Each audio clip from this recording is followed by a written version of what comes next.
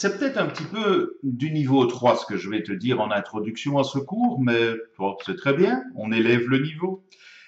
L'étoile se tient sous les étoiles. Je veux dire par là, le personnage de l'étoile se tient sous les étoiles.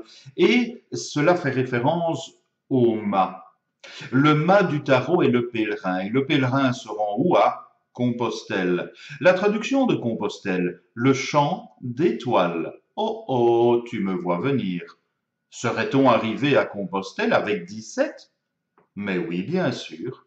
Quand le mât arrive en 16, il est dans la maison Dieu, il est dans la le bâtiment par excellence, le bâtiment religieux de Compostelle. Et 17 est à genoux et s'investit et prie dans ce qu'elle regarde, à savoir le bas de la carte 16, à savoir la maison Dieu. Donc nous avons en 16-17 Compostelle, le lieu.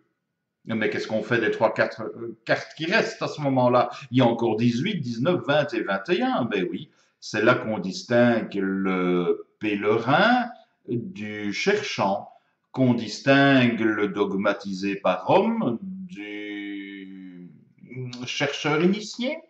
Oui, mais ça c'était vraiment très niveau 3. Fistera, là où se finissent les terres, c'est le 21. En 17, on est à Compostelle. Oh là là là là, ça se complique. Bon, j'ai écrit un petit bouquin sur le sujet si tu veux. Bon, un petit coup de publicité en passant. On rentre dans le cours 17 maintenant? Allez, ce sera plus sérieux.